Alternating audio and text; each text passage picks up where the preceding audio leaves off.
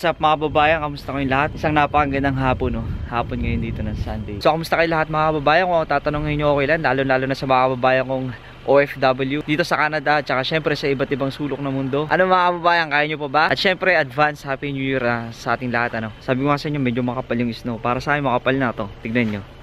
Yan yung snow.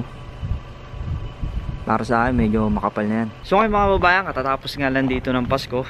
Uh, pasensya na kasi hindi ako nakapag-vlog na itong mga nakarang araw kasi uh, eto nga nakalimutan ko yung mga gamit ko doon sa may apartment pupunta rito. So ngayon lang ako ulit makakapag-vlog tsaka makakapag-edit. Magay ka muna! Ay sige Jo. Asawa ng kapatid ko. Wala ka na magagawa kasama ka na rito sa vlog ko So ngayon pag-uusapan natin dito sa vlog ko kahit medyo malamig na no, na patungkol dun sa kung ano yung experience ko na naranasan kong Pasko, mga naranasan kong Pasko dun sa Taiwan at saka yung Pasko ko na first time na experience sa Pasko dito sa Canada. Pasok tayo sa loob, medyo malamig eh.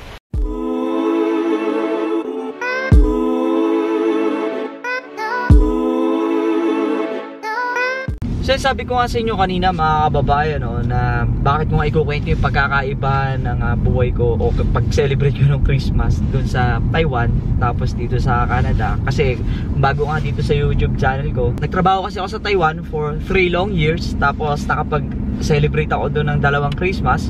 Masasabi ko na masaya ako na nag-celebrate ako ng Christmas dun sa Taiwan pero masasabi ko naman na mas masayang masaya ako ngayon kasi kasama ko nag nag-celebrate ngayon ng uh, ito nga ng Pasko yung uh, family ko rito ngayon sa Canada.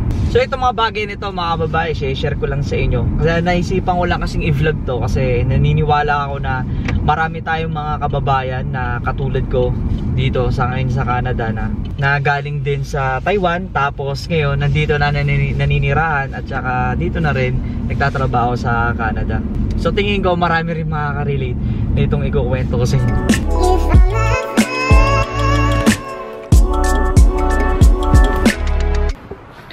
So ayun nga no, uh, sa Taiwan kasi naaalala ko lang pag maglapit na magpasko, um, marami doon mga malls and parks na nilalagay nila ng yun nga, Christmas decoration, Christmas lights, uh, Christmas trees, mga ganon. So ako, sa company kasi namin dati, naalala ko na meron kami dong ano, meron kami dong curfew na dapat alas 10 ng gabi nandun ko na. Pero nagte-take advantage pa rin ako syempre para ma-experience ko yung Christmas ng Taiwan.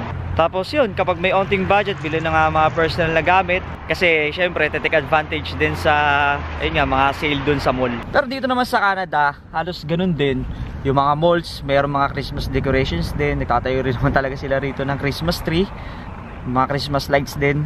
Napakaganda kasi makikita mo pagkagabi makikita mo yung akala ko sa Pilipinas lang. Dito din pala sa Canada nagaano din sila rito nagde-decorate din sila rito ng mga Christmas lights sa loob at sa labas ng bahay nila. So pag nauwi ako rito sa Kalapapa ano kaya pag nabiyahe ako nakikita ko yung mga labas ng bahay dito. Talagang napakaganda napakaganda para nasa Pilipinas lang. Ang daming mga Christmas lights tas decoration dun sa labas ng kanilang mga bahay. So tapos yun di ba may mga snow snow pa. Napakaganda. At syempre na itong mga nakarang araw um, dumaan dito yung holiday tapos may boxing day. Nag-take advantage din ako ng mga sales dito uh, gamit para din sa sarili ko. Saka syempre bumili ako ng bagong camera. Hintayin nyo yun i-ano ko yun i-unbox ko yun.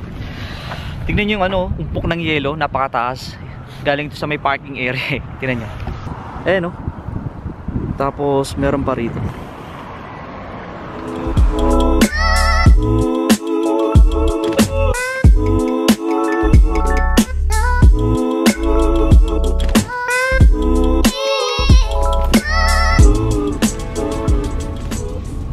nandito ako ngayon sa McDonald's. So medyo nagugutom na ako. Order muna ako dito sa McDonald's sa makakain.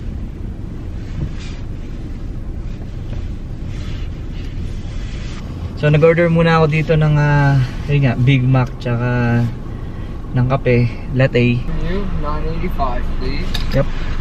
There you go. Yeah. Thank you. Yep. You're welcome. Hi. Thanks. Thank you. Park lang ako sandali.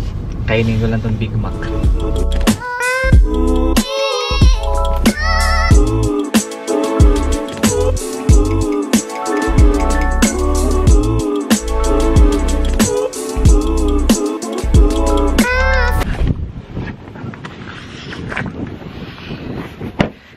Yun oh.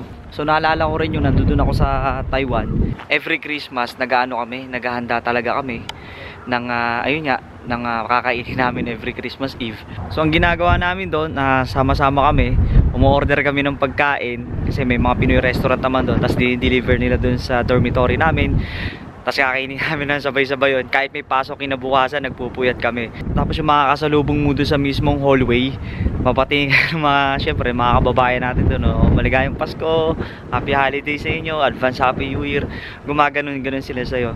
So makikita mo rin doon sa mga mata ng mga kababayan natin doon na, ayun nga, na kahit na malayo sa pamilya, pinipilit na maging masaya, nag enjoy din. So ang ginagawa din namin doon, na yung mga ka-roommates ko naman, uh, nag-ano kami, yung nagkakaroon kami ng uh, ex- exchange gift.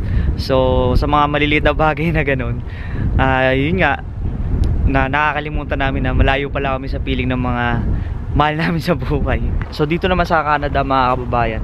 So, ang ginawa namin this uh, December 24, uh, sinikap ko talaga na magbigay ng regalo yung uh, parents ko tsaka yung family ng kapatid ko kasi sa tagal ng panahon hindi ko sila nabibigay ng ganon So yun, yung December 24 yun, inabot ko na sa kanila. Nakita ko naman yung reaction nila nung binubuksan nila yung uh, munting regalo ko para sa kanila. So si mama, uh, hindi naman syempre pigi si mama sa regalo. Binig binigyan ko siya ng bagong phone. Tapos si papa, binigyan ko siya ng uh, bagong sapatos. So hindi niya pa magagamit yung ngayon kasi syempre snow, yung pagkaganyan, hindi mo siya malalakad sa ganyan. So so magagamit niya na siguro sa spring, tsaka syempre summer and fall yan, pwede pa niya gamitin yun. So tatanungin nyo nga pala kung nasa ako ngayon. Nandito ako sa Summerside Wharf. Yan, so meron ditong nakadaong na malaki ngayon. No? Yan, napaking barko. Tapos yung mismong tubig niya, nag snow na. Sana makapakita ako sa inyo. Lalapit tayo ito. Papakita ko sa inyo, nag snow na yung tubig ko. Dito sa likod ko, nag snow na eh. Dito. So, ayan. Oh. Snow na yan. Yung mismong tubig niya. So dito sa lugar na yan, malalim yan. So doon sa may bandan dito sa part na yan, may, may ginawa kaming vlog dyan. Eh, kasama ko si mama at si papa. Yan, naming, namingwit kami dyan. So lalagay ko dito sa description ng vlog na to. Yung vlog ko na yun, napakaganda. Siyempre, namingwit kami. Tapos may mga nahuli din kami. I-check nyo yung vlog na yun. Yun know, naalala ko din, no? isa rin pala sa mga pinagkaibahan nung uh, Pasko ko rito sa Canada, tsaka sa Pasko ko sa Taiwan is yung araw ng pasok na yun nga, na dito sa Canada, kapag December 25, halos lahat ng mga company rito, mga establishments, talagang nagsasara sila. So para syempre yung mga empleyado nila makapag-celebrate din ng Christmas. Ngayon naman, doon sa Taiwan, naalala ko lang na ngayon nga pag December 25 kami ron, lalo na pag pumalo siya talaga ng weekdays talagang pinapapasok kami. So kami pag uh, Christmas Eve doon pag uh, syempre gusto namin magsama-sama kakain kami talagang nagpaano kami nagtatry kami na magpuyat syempre para syempre di ba nga makapag-celebrate din. Kasi syempre para mabawasan yung kalungkutan din namin na ayun nga na malayo kami sa family namin lalo lalo na sa Pilipinas. At yun nga rin pala kung natatanong nyo kung anong, anong mga ginagawa ng mga Pilipino rito kapag eto nga pag uh, malapit na magpasko araw ng Pasko. Base sa experience ko na itong mga naarang araw yun nga meron dito kasi nga syempre yung mga Filipino community uh, nag-set up sila o nag-ano sila ng isang event kung saan magsasama-sama yung mga Pilipino rito. Tapos yun, nagkaroon ng Christmas party yun nga, napakaganda ng event, napaka-organized siya tapos ang daming Pilipino talaga na sumuporta sa pagkain, sa pagtulong dun sa pag-aayos ng event. Siyempre, hindi mawawala din yung ano, yung uh, pagbibigay ng mga regalo. So yun nga, meron din mga ano dito, mga Filipino dito, nagse-set up sila ng uh, yun nga, ng Christmas party sa isang bahay na yun, nagkakaroon ng uh, mga palaro, masayahan syempre, kainan. Tapos syempre meron na re-exchange gift doon. So ito yung huli na para sa akin yung pinagkaibahan nung uh, ito nga, yung Pasko ko rito sa Canada at sa Pasko ko sa Taiwan is yung weather condition. So sa Taiwan naman kasi malamig, lalo na rin pagka yun nga, ito na palapit na yung uh, winter season doon. So pag December doon, malamig na, nagja-jacket na yung mga babae natin doon. Pero hindi katulad ng ganito. Yung weather condition dito sa Canada, tingnan, tingnan nyo talaga snow na. No? So kailangan mo talaga na winter jacket ka gloves. Tapos syempre kailangan naka bonnet ka rin. Kasi uh, kung ako hindi ako maglalas talaga. Hindi ako tatagal sa ganitong klaseng malamig. Di pa ako gano'n nakakapag adjust sa ganitong klaseng lamig.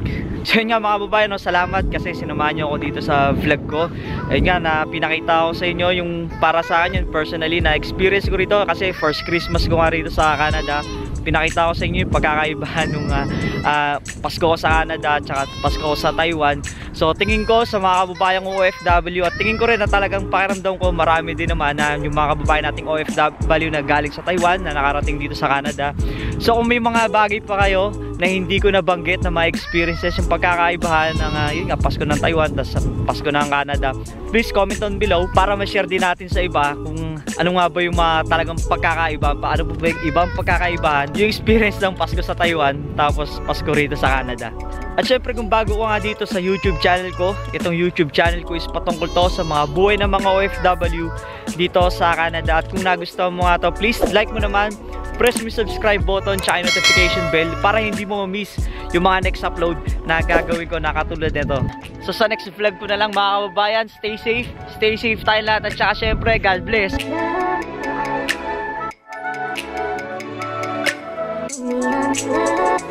Yeah.